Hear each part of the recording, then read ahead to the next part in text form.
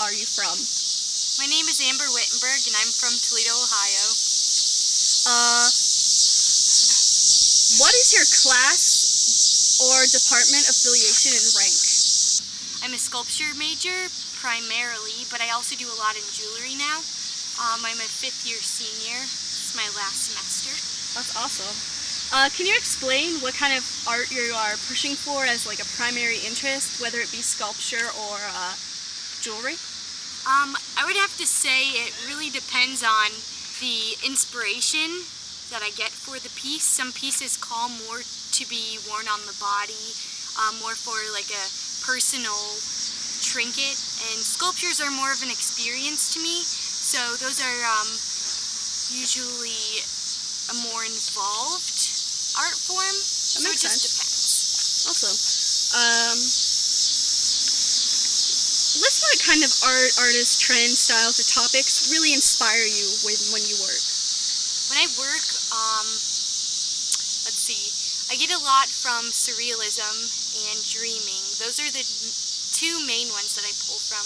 I'm also interested in um, metaphysical properties of crystals and things like that. Also synchronicity and symbolism. So like when I'm working on a piece, it might seem really scattered at the beginning. You just have to push past that um, initial step and then things just sort of fall in line in life. Like you'll find the perfect material you needed in the perfect quantity and yeah, so I'm working more along those organic lines. Awesome.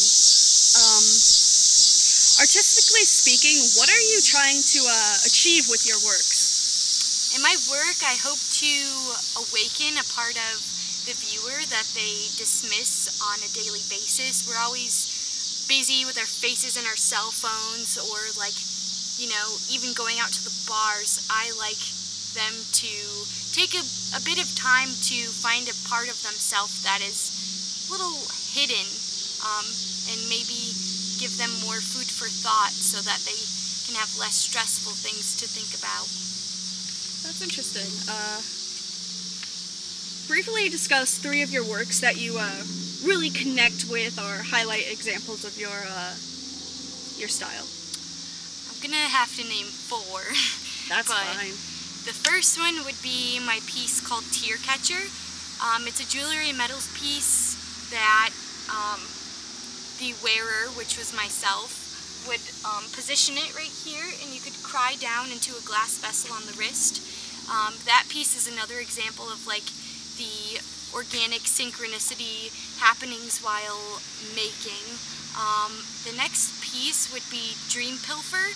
It's a cheesecloth bag.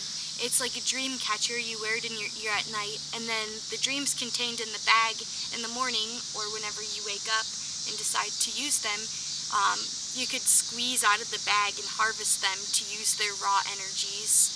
Um, and sculpture-wise, I would have to say my sculpture Rapunzel is um, pretty typical of my work. It was made a few years back, um, containing human hair for um, cast glass, cast um, iron, and it's like a fairy tale piece Ah, okay. dealing with ego. And then the very last one is called Aura. It was my obsession with this particular color that translated itself onto different planes and made a full composition in a space. That's wonderful. Thank you so much for your time. Thank you.